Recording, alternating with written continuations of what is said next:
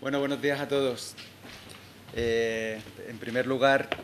me gustaría agradecer a, Nicolás Todoro y a todo el equipo de, la Estación Experimental su, apoyo inestimable para que estas jornadas puedan tener lugar. Quiero... Ah, perdón. me muevo mucho, así que bueno, vamos a ver si me, si me puedo quedar aquí. Eh, quiero también eh, agradecer especialmente a, a todo el equipo que ha hecho posible que nos que estemos aquí reunidos y sin lugar a dudas a dos personas por, porque el empeño que han puesto ha sido un poquito especial. Blanca Ramos, Ruth Aspizua, así que gracias por, vuestro trabajo. Eh, y bueno, eh, la verdad es que es una satisfacción ver el, patio de butacas lleno de, investigadores, de técnicos, de gestores, de agentes y que estemos aquí en esta eh, primera introducción al, observatorio después de la presentación de Tomás, pues Regino y yo, eh, para hablaros de, lo que se ha configurado a lo largo de casi ya seis años y que no es ni más ni menos que un puzzle con cierta complejidad, pero cuyas piezas van encajando poco a poco. Es el inicio de un camino, eh, no deja de ser algo humilde, sencillo, pero que eh, esperamos que en el futuro se pueda consolidar y que ese recorrido que nos queda enorme a, futuro, pues realmente sea útil para todos, para científicos y para gestores. Lo que pretendemos eh, al organizar esta jornada es, por una parte, hacer extensivo algo que muchos de los que estáis aquí conocéis y vivís, pero otros no tanto, hacer extensivo eh, el Observatorio de Cambio Global de Sierra Nevada, la sociedad en su conjunto, por supuesto, pero la comunidad científica eh, que trabaja, ha trabajado, va a trabajar en el futuro en Sierra Nevada. Y queremos, y ese símbolo al que me refería antes es muy importante, reforzar el trabajo conjunto entre científicos y gestores, porque realmente la fuerza de esto que se ha venido a denominar el Observatorio de Cambio Global de Sierra Nevada eh, proviene realmente el corazón, el alma de esa unión, de esa relación cada vez más estrecha entre gestores y científicos, porque los desafíos que nos presenta el escenario de cambio global al que nos enfrentamos realmente son extraordinarios y solamente con ese trabajo conjunto vamos a poder dar respuesta adecuada eh, a ese reto. Eh, ese reto que, es el cambio global y que altera las condiciones en las que se desarrolla la vida en la Tierra y que, bueno, de una manera sensata podríamos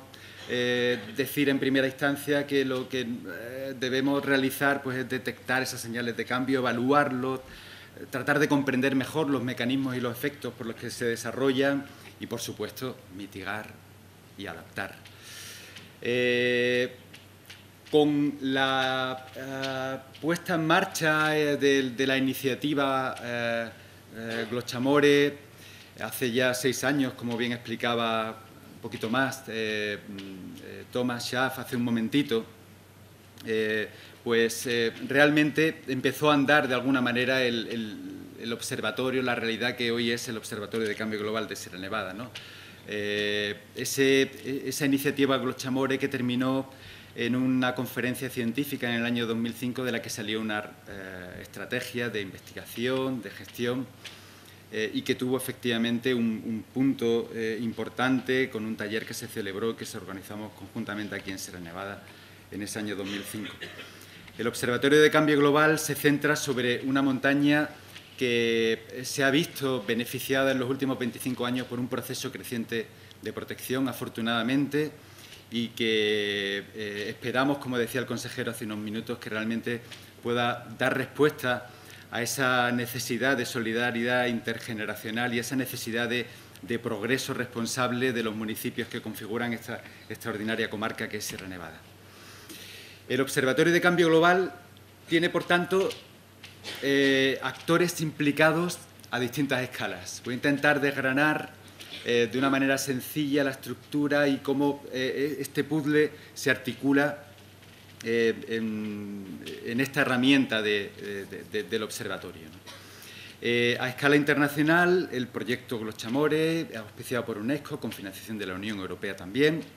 A escala nacional, porque formamos parte del programa de seguimiento de cambio global de la red de parques nacionales, junto con los parques de Cabrera, Teide y Picos de Europa, eh, con, una estación de red eh, con una red de estaciones multiparamétricas eh, que financia y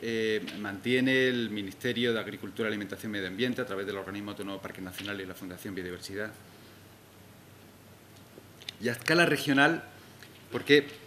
realmente las piezas que configuran ese observatorio eh, son financiadas, impulsadas eh, por la Consejería de Medio Ambiente de la Junta de Andalucía, convergiendo en el Parque Nacional y en el Parque Natural, eh, con la coordinación científica de la Universidad de Granada y del CEAMA, pues toda esta estrategia de seguimiento y de gestión que, en definitiva, lo que persigue es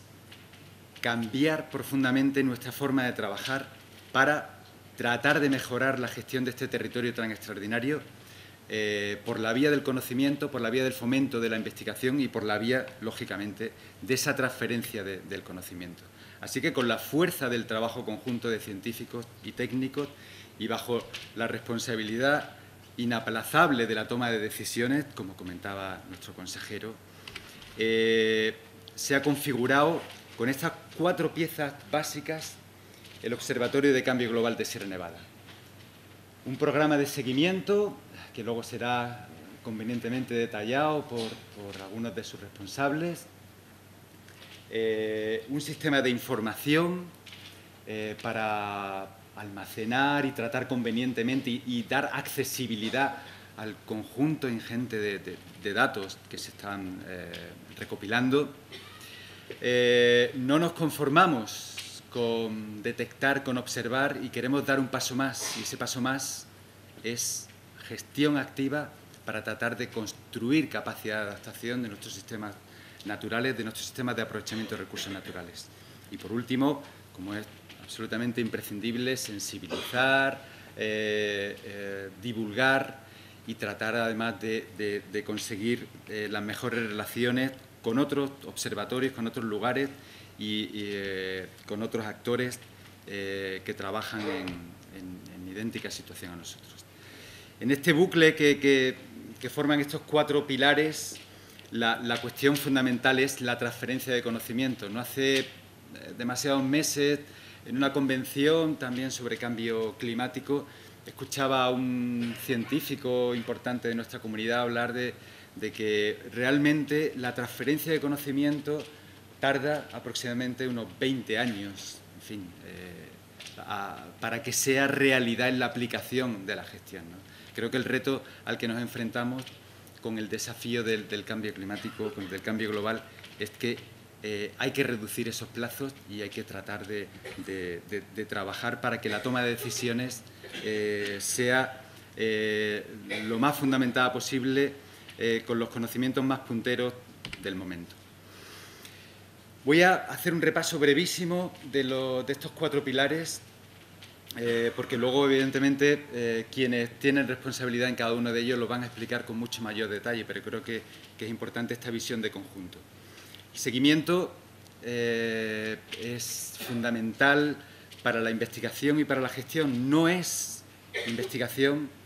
pero tampoco se puede plantear solo con base científica, y en ese sentido hay un trabajo muy importante que se plasma en el programa de seguimiento del observatorio eh, a través de un proyecto que financia la Consejería de Medio Ambiente, que es ejecutado por la Agencia de Medio Ambiente y Agua y que es coordinado desde el punto de vista científico por la Universidad de Granada y por el CEAMA. Y que trabaja en numerosas eh, disciplinas diferentes desde eh, la climatología, la cobertura de nieve, los sistemas acuáticos, eh, la química atmosférica, eh, la evaluación de, determinadas líneas de gestión, las repercusiones sobre la flora, la fauna, eh, la productividad primaria, los flujos de carbono, los servicios ecosistémicos, la socioeconomía, en fin, un amplísimo programa sobre la base de la estrategia de los chamores que, como digo, tiene a estos actores principales están aquí en la sala y que luego lo van a explicar. Eh, se, ciñe al área de conservación del Parque Nacional, cuyo responsable es Ignacio Henares, Eh, la dirección facultativa corresponde a Javier Cano y en estos momentos a Blanca Ramos y tiene a tres personas, Ignacio Maldonado, Ruth Aspizua y José Miguel Barea, como responsables y coordinadores dentro de la Agencia Andaluza eh, de Medio Ambiente y Agua. Eh, este programa de seguimiento se complementa, como he comentado también al principio, con una red de estaciones multiparamétricas eh, financiadas por el Organismo Autónomo Parques Nacionales y la Fundación Biodiversidad y que integran, se integran dentro de esa red de seguimiento de cambio global de la red de parques nacionales. En definitiva, si trasladamos eh, las diferentes unidades de muestreo, parcelas, puntos, estaciones al, mapa de Sierra Nevada, pues podemos ver realmente que el esfuerzo que se está haciendo para comprender mejor y detectar mejor las señales de cambio en nuestra montaña, en eh, disciplinas muy diferentes, pues es bastante importante. Eh, pretendemos que esos parámetros, que esas variables que luego se puedan convertir en indicadores, eh, eh, sean científicamente válidos y para eso se ha hecho un esfuerzo muy importante de homologación de protocolos y tenéis en vuestras manos recién salido eh, el dossier de metodología, que creo que es un trabajo muy importante por parte de todo el equipo y que deja, deja a las claras pues realmente la línea que se está siguiendo en estos últimos años para conseguir que eh, esta montaña que se Nevada realmente pueda ser útil para la investigación presente y futura y, por supuesto, para que la toma de decisiones en la gestión del territorio pues, realmente tenga fundamentos. Eh, esta es una de las páginas de ese, cuaderno, de ese dossier de metodología, eh, que, bueno, ha sido pues, el, reflejo de, un trabajo muy intenso. Simplemente para terminar en este primer pilar del seguimiento me, gustaría hacer una, pequeña reflexión sobre la necesidad del largo plazo. No, no, conseguimos nada si realmente hacemos un sprint durante unos pocos años y, esto al final no se continúa. Por eso eh, hemos eh, trabajado también muy intensamente en que el armazón básico de ese programa de seguimiento pueda interiorizarse en la dinámica, en la rutina de trabajo del espacio natural. Y una vez que eh, las variables están validadas científicamente, agentes técnicos en su agenda de trabajo y hay ya grupos especializados y convenientemente formados puedan realmente pues, eh, realizar ese seguimiento eh, que nos garantice el largo plazo en la toma de datos de, muchas de esas variables. Eh, toda la, información que se aglutina tiene que convertirse en accesible y, en definitiva, en conocimiento útil y para eso, pues, mediante un convenio firmado con la Universidad de Granada del CEAMA, financiado por la Consejería de Medio Ambiente, se ha puesto en marcha ya a final del año pasado el sistema de información linaria que estructura la información, que eh, realiza un esfuerzo también muy importante para, para eh, determinar eh, las características por las que se, llega a esa toma de datos, todo lo que se conoce como los metadatos, ¿no? para que pueda ser realmente homologable con los estándares de, redes internacionales como pueda ser el ETER y, por supuesto, para que sea compatible con la red de información ambiental, con la REDIAN de la Consejería de Medio Ambiente y pueda realmente también eh, extrapolarse a otras, a otras redes eh, de, información. El responsable, los responsables son Curro Bonet, Ramón Pérez, Antonio Jesús Pérez Luque, eh, del CEAMA, María Jesús del SAD, de la Agencia de Medio Ambiente y Agua y la dirección facultativa corrido a cargo de Javier Cano. El tercer pilar al que me he referido y que forma parte de este puzzle es la gestión activa porque no podemos aplazar las decisiones y necesitamos realmente, de alguna manera, eh, eh, dar pasos adelante en, construir capacidad de adaptación de nuestra biodiversidad, de nuestros sistemas naturales, para disminuir vulnerabilidad en la medida de lo posible y para aumentar su resistencia y su resiliencia.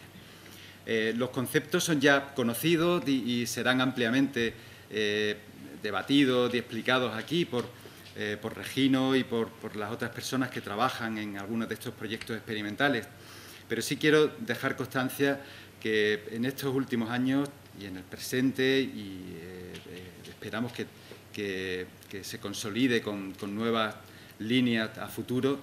pues eh, se ha trabajado en la conservación de formaciones vegetales vulnerables, se está trabajando como los robledales, uno de los robledales de Sierra Nevada, enhebrales, sabinares.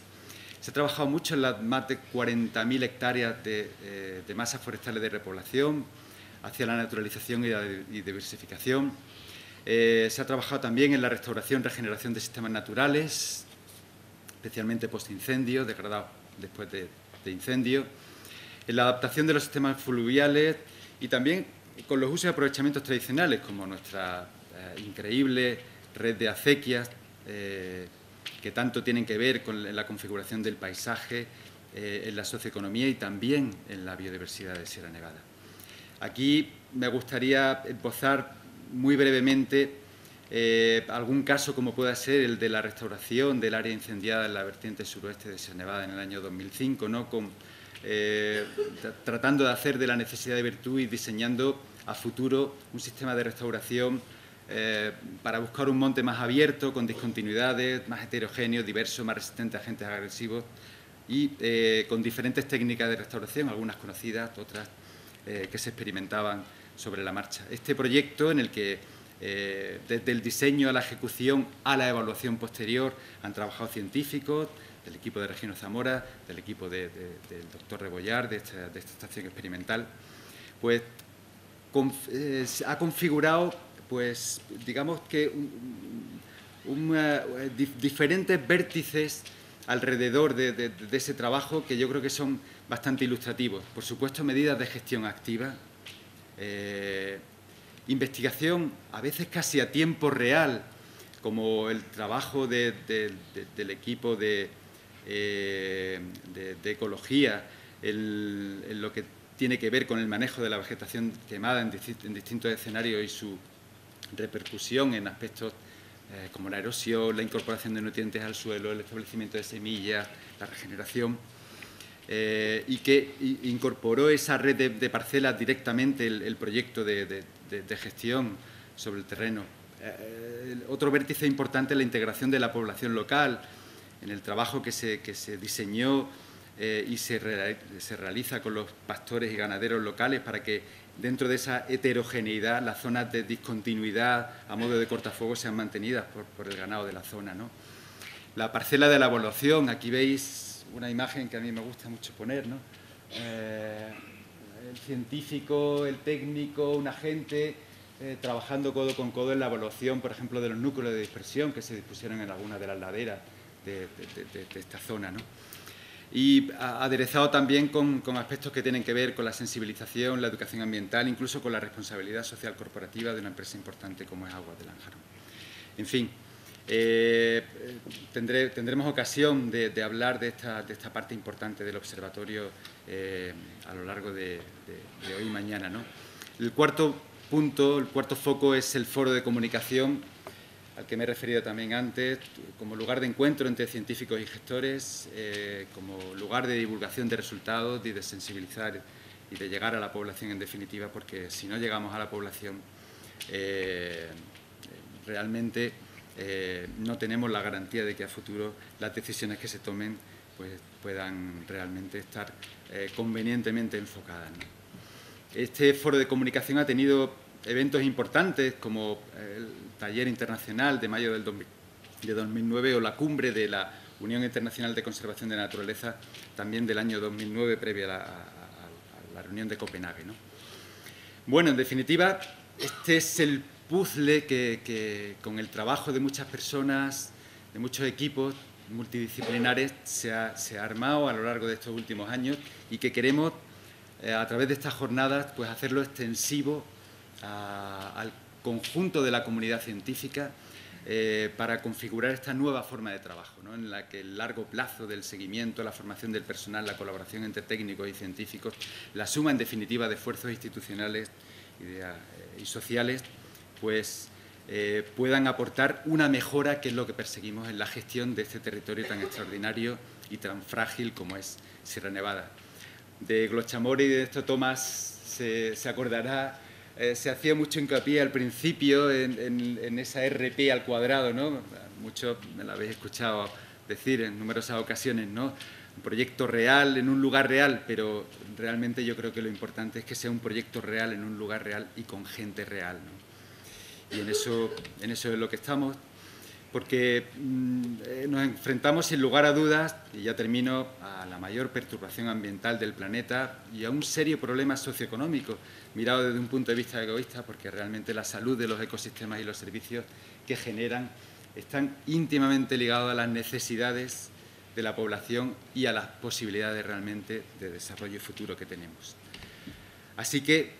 el planeta tiene que adaptarse a los nuevos escenarios derivados del cambio global, esa adaptación, sin lugar a dudas, necesita del mejor conocimiento científico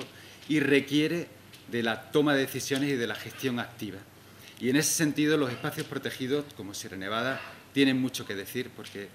eh, si no es aquí, con esta confluencia de actores, de personas, de instituciones, de recursos humanos, económicos, aun con las dificultades que todos sabemos, ¿dónde se podría realizar esto? Y dónde podemos eh, conseguir experiencias realmente pioneras, multidisciplinarias, orientadas a conocer las consecuencias y a desarrollar también medidas de, adaptación para que realmente eh, puedan ser exportables al resto del territorio. Así que ese es lo que perseguimos con el observatorio, esta es la estructura general del contenido y ahora le paso la palabra a Regino que también nos, va a comentar un poco algo más de, esta línea que hemos seguido durante estos últimos años. Muchas gracias.